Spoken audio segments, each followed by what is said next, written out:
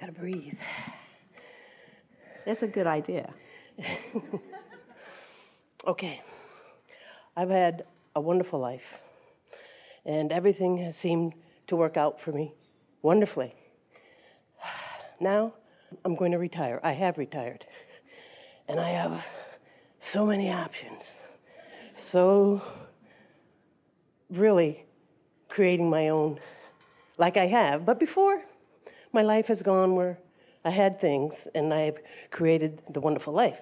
Now it's really just me. I need a rampage of everything's going to be okay. Everything's going to be okay. It is going to be as exciting as the past 60 years It's going to be far better than anything you've ever known before. because I I really feel that.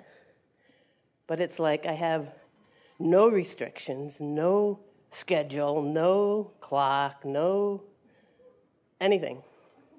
And it's just really pure creation. Well, when you were first born, wasn't it like that? Yes, but I can't remember that.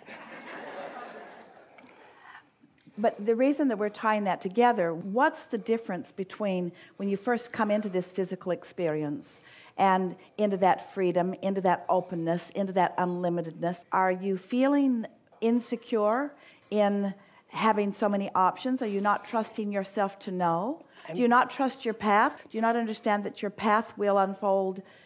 Or are you afraid that you won't recognize it? What's the problem here? In other words, I'm overwhelmed with excitement and I'm well, those two words don't go together.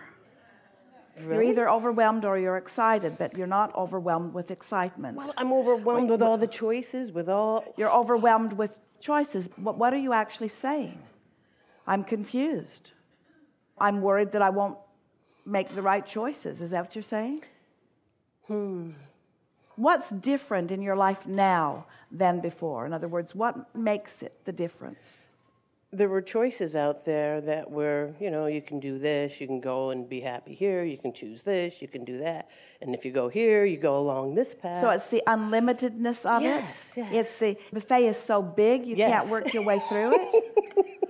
yes. But really, when you think about it, that's like saying that do you need to figure it out all at once, or is it just going to come to you? not. Now, this may be the wrong time to put this out to you, but do you have to consider everything that you will ever eat for the rest of your life today? No. Or is it just the menu that's before you? In other words, we realize that there are different places that you could choose to dine, but that's relatively simple to make those choices. And once you get there, is it so unlimited that it overwhelms you, or is there always a manageable buffet before you? That's the question that we want to put to you.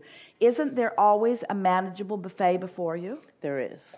So when we talk about never mind how you got to where you are, and never mind so much everything that's going to unfold, because you're right, you cannot contemplate all of that.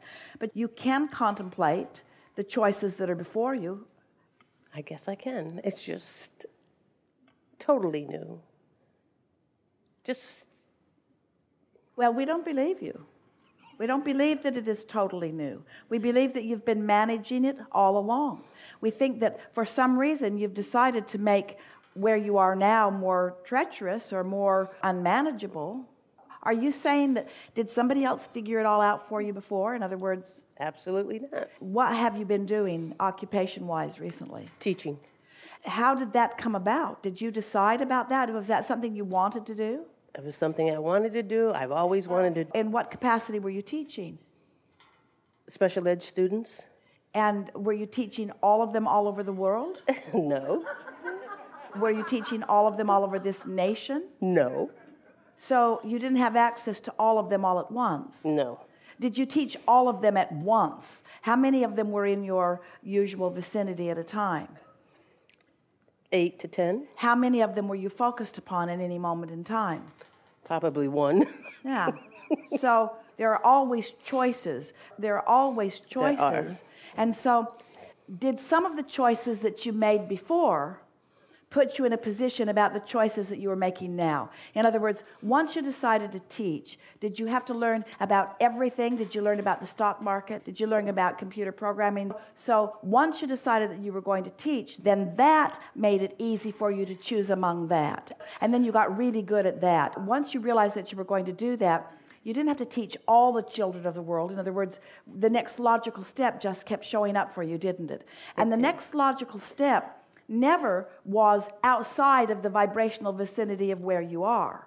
So there will never be more for you to consider than you are vibrationally able to consider, nor even more. Oh, this is even better. Not only will there never be more for you to consider than you are vibrationally able to consider, no more will come to you to be considered than what you are vibration. In other words, that unlimitedness that you are feeling is limited by the trajectory that you've already set into motion. When you decided to come forth into this body, you didn't say, I'm going to go and do all of it all at once. You said, I'm going to focus myself within a time and a space. Oh, don't you just love the fact that in a time you don't have to think about everything all time before and after? It's just now. Isn't that interesting how that works out? Mm-hmm. That there is, in your unlimitedness, still, there is a focused place from which you are launching your next desire. And it's always the next logical step, the next logical step. So, why in the world have you trumped up this fictitious perspective of what it's going to be like? That's why we said we don't believe you. We don't think it's about that. We don't think it's about too many choices. We think it's about not having made a choice. Hmm. Not having made a decision. Because in decision, energy always flows in a strong way. So, what kinds of things have you decided? Have you decided between happiness and sadness? Happiness. Have you decided between something interesting and something really boring? Very interesting. Have you decided to be productive or unproductive? Productive. Have you decided to enjoy it or to despise it? Enjoy it. Do you believe that the universe will deliver it, or do you think you have to go searching for it? Deliver it. This is where I'm shaky, I guess. Yeah, that is where it is. But do you have a little more confidence now as we're visiting yes. that you know enough about your path that you will recognize it when you see it? That's what I want to hear. You will recognize it when you see it. Isn't that a glorious state of being that you will know it when you see it?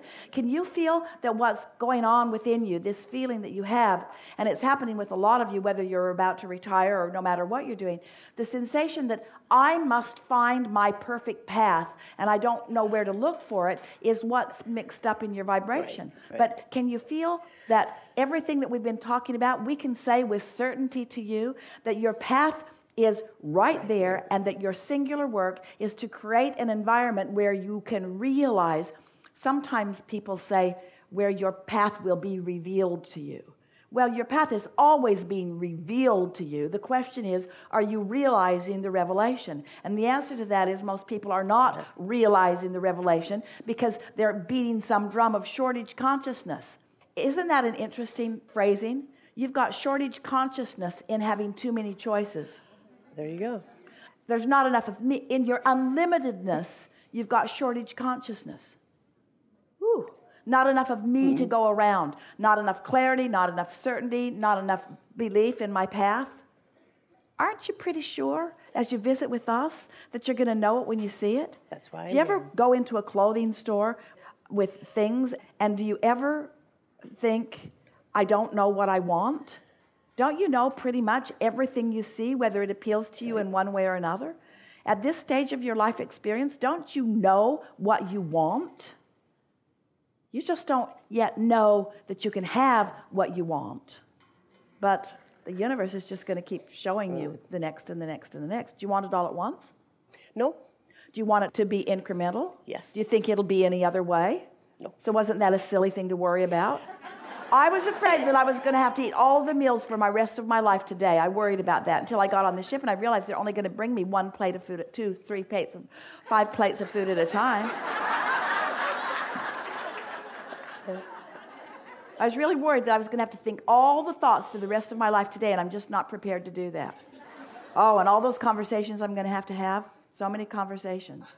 You don't have to figure it all out. Everything is taken care of. It's just right here, right now, and how you're going to feel about right here, right now. It feels really good hearing about it right here, right now Yeah. from you. Yeah. I just feel good about hearing It'll that. be easy for you. It's been being easy for you. It's not going to suddenly change for you. You are who you are. You're a focused being. You're good at what you do. You've loved life for a long time. It's just going to keep unfolding in remarkable ways. It's going to be more fun than it has ever been. You're going to feel freer than you've ever felt. You're not going to be confused about who you are or what you want to do. Clarity is going to be your middle name. Just relax and enjoy. Have fun with all of this. I will. Yeah. Thank you. Thank you very much. Yeah. Awesome.